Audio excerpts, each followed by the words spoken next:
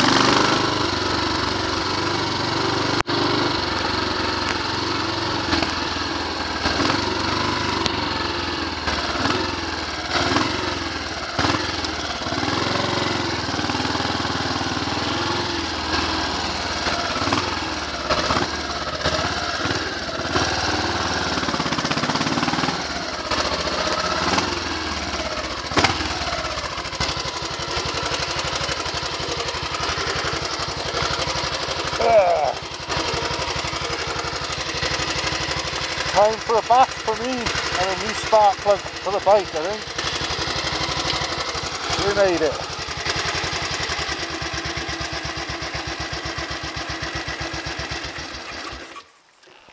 Oh, it was uh, some day out. At least we made it, in spite of a few glitches and hiccups. The old girl did rather well, but it was a bit too high geared for that sort of thing, to be honest. And uh, I'm ready to go and have a soak in a nice hot bath.